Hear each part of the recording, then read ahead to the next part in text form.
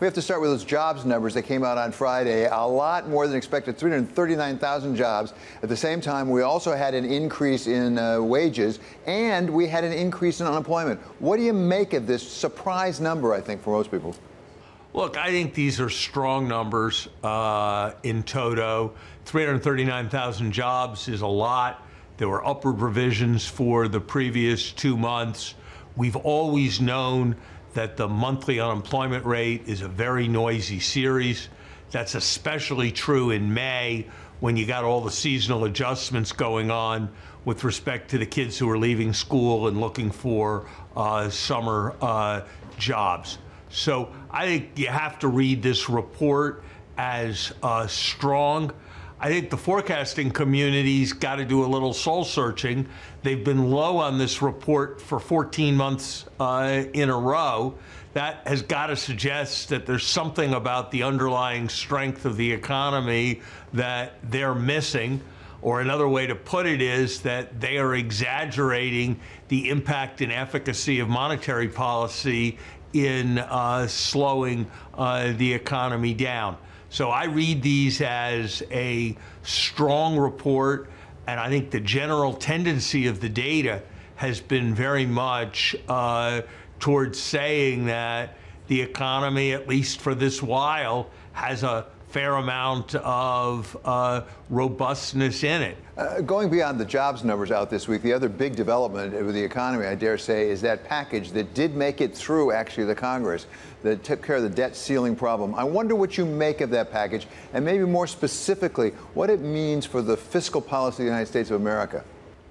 David, before I say something about the debt limit uh, issues, I want to just say that with that behind us, with these employment uh, figures, with the general evidence of robustness in the economy, I think the lower risk strategy is for the Fed to raise rates uh, in June.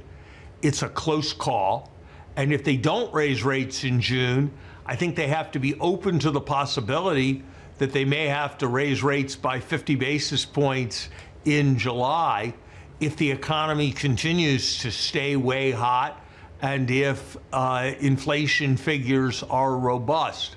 I saw that some of the governors have been saying that maybe the Fed can move to a mode of raising rates by 25 basis points only every other meeting. It's certainly possible that that's a mode that they can move into, but for there to be any sense of commitment uh, to that, given the risks, would I think be repeating the kind of mistakes that the Fed has made repeatedly over the last uh, several uh, years. I vacillated after the first run of serious banking uh, issues, but seeing where we are now, seeing the general picture in markets, I think we're again in a situation where the risks of overheating the economy are the primary risks that the Fed needs uh, to be mindful of. And of course, that's just reinforced by the fact that we've put the debt limit and the potential loss of confidence uh, from it uh, very much uh, behind us by reaching uh, this deal. Look, the thing I'm worried about coming out of this deal is not what happens in the near term. The IRS provisions there, I think, are really a serious uh, error, and we're missing a chance to catch lots of people who have just cheated on their taxes, who are going to go undiscovered. And because we're not investing enough, we're going to probably have even more people playing uh, the audit lottery, and that's a mistake, a serious mistake. But I think the really big issue that focus is going to need to turn to is the long run fiscal picture of the country. CBO says that we're headed to a projected deficit more than twice as large as the one we had when we set off the Simpson Bowles uh, process, more than 75% larger than the one that was there when Bill Clinton uh, came in as uh, president. And there are all sorts of reasons to think that the CBO estimate is way optimistic. I don't believe for a moment that one month, three month Treasury bill rates are going to average 2.3% over the next uh, decade. I don't believe for a moment that defense spending as a share of GDP is going to fall by 20% over uh, the next uh, decade.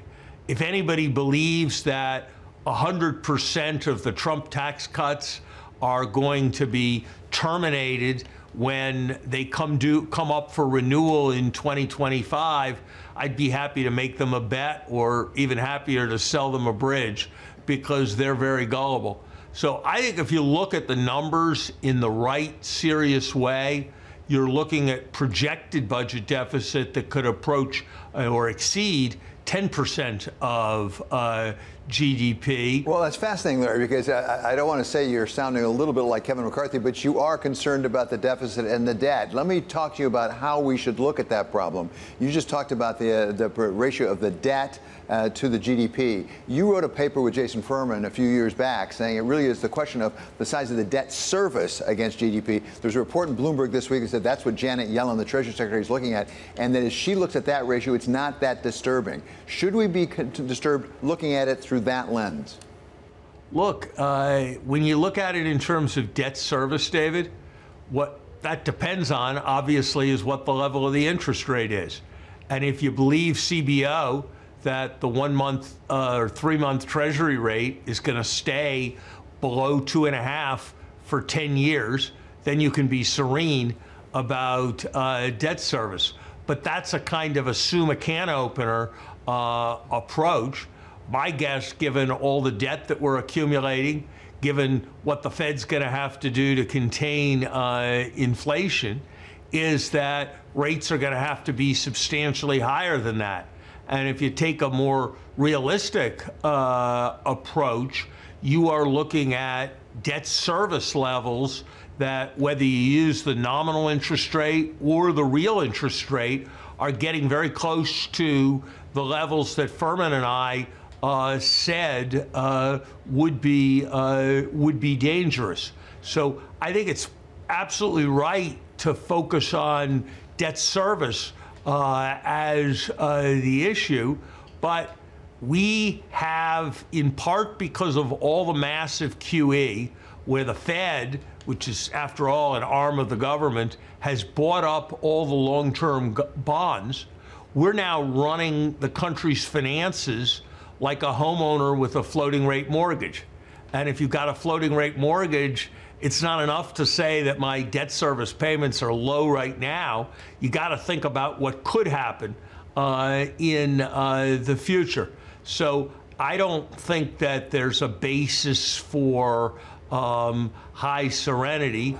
And I look at all kinds of shocks that could happen uh, coming out of defense spending, coming out of the need to reconstruct Ukraine, coming out of climate situations that look more serious coming out of the fact that I saw some numbers yesterday that suggests that there's probably a one in three chance that we're going to have a, another COVID level health event within the next decade.